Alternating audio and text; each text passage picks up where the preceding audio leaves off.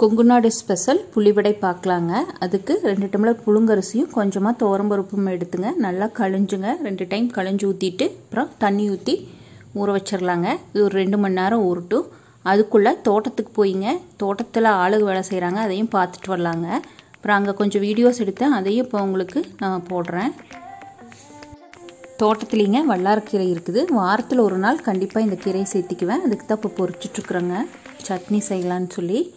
இந்த பூ வந்து நிறைய பேர்த்துக்கு தெரியும்னு நினைக்கிறேன். அடுக்கு குண்டுமுல்லைங்க மனம் சூப்பராக இருக்குங்க. அதுவும் நிறைய பூ இருந்ததுன்னு பொறிச்சிட்ருக்குறேங்க.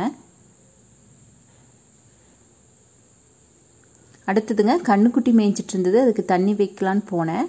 அது பக்கத்துலேயே பார்த்தீங்கன்னா மயிலும் கொக்கும் கூடவே இருந்ததுங்க. பார்க்குறக்கு ரொம்ப அழகாக இருந்தது. அதைத்தான் நீங்கள் இப்போ பார்க்குறீங்க ஆளுக வீட்டுக்கு கிளம்புனதும் நானும் வீட்டுக்கு வந்துட்டேங்க. அரிசி ஊறிடுச்சு. இப்போது என்னென்ன வேணுங்கிறத பார்க்கலாங்க ஒரு கப் நிறைய தேங்காய் பூங்க. அதே கப்பில் சின்ன வெங்காயம் ஏழு வரமிளகா ஒரு பத்து நம்பர் பூண்டு கொஞ்சம் சீரகம் கல்லுப்பு கொஞ்சமாக புளிங்க. அரிசியை தண்ணி இல்லாமல் எடுத்து வச்சுட்டுங்க. இதுகளை மட்டும் போட்டு மிக்சியில் அரைச்சி எடுத்தாச்சுங்க. அப்புறம் இது ரெண்டையும் சேர்த்திங்க. நம்ம கிரைண்டரில் ஆட்டி எடுத்துக்கலாங்க. கொஞ்சம் கொஞ்சம் தண்ணி எச்சாயிருச்சு. அதனால் இப்போத்திக்கு வந்துங்க மழையும் வர மாதிரி இருக்குது. அதனால் கிள்ளி மாதிரி போட்டுக்கிறேங்க. அடுத்ததுங்க தண்ணி எச்சா போனால் நம்ம வந்து ஒரு ஒயிட் கிளாத்துலைங்க இந்த மாவை பரப்பி விட்டோம்னா தண்ணி உறிஞ்சிருங்க. அப்புறம் தட்டி போட்டுக்கலாம். அப்படித்தான் பண்ணணுங்க கொஞ்சம் நேரம் கழிச்சு.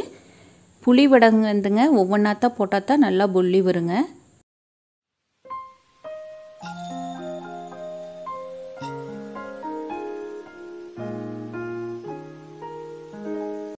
இப்போ புளிவடை ரெடி ஆயிடுச்சு இந்த ரெசிபி நீங்களும் ட்ரை பண்ணி பாருங்கள்